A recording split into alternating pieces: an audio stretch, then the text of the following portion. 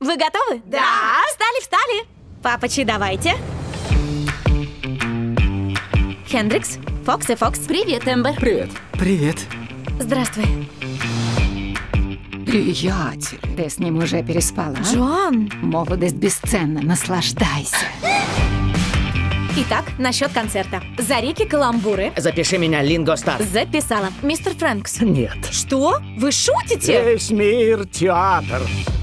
Конец. Да, так звучит. Неважно, меня работа ждет. Я пробовал писать тебе, но сообщение не уходило. Мам, Ну, прости меня, детка. Все будет хорошо. бери выше, мама. Все будет замечательно.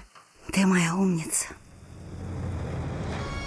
Мистер Фрэнкс, вы не посмотрите? Ух ты, тебя приглашают на прослушивание в Карнеги Меллон. Это же потрясающе!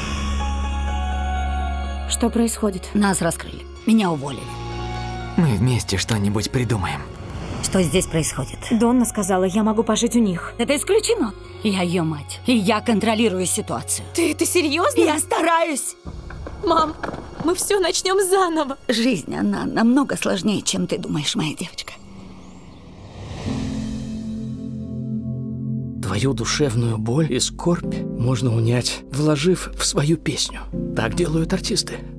А ты, ты артистка. Вместе с тобою дорогой любовь. Ты столько делаешь ради других, позволь помочь тебе. Мне не нужно. Почему тебе страшно принять помощь? Ты ожидала, что друзья дадут тебе скатиться в пропасть? Это нечестно. Нечестно? Ты страдаешь и не хочешь этого признать. Оставь меня в покое.